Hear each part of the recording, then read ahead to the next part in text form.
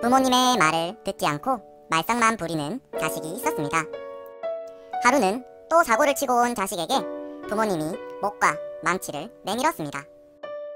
그러면서 말썽을 부릴 때마다 못을 하나씩 줄 테니 마당에 있는 나무에 박으렴. 뻘치고는 쉽다고 생각한 자식은 말썽을 부릴 때마다 시키는 대로 나무에 옷을 박았습니다. 그렇게 세월이 흘러 자식도 결혼을 했습니다. 물론 씩씩한 손자도 낳았습니다. 그런데 이 손자도 크면서 말썽을 부리기 시작합니다. 손자가 말썽을 부릴 때마다 가슴이 너무 아팠던 자식은 손자를 버리려고 합니다.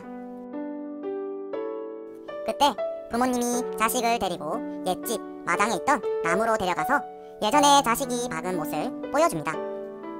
그 수가 셀 수 없을 정도로 많습니다.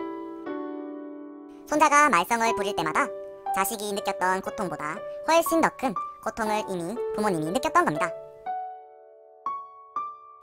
무언가를 깨달은 자식은 손자를 버리지 못하고 좋은 말로 타이르고 참으며 손자를 잘 키웁니다. 가슴에 못을 박는다는 얘기가 있습니다. 우리가 말썽을 부릴 때마다 부모님은 가슴에 못이 박힐 듯한 고통을 느끼고 있습니다.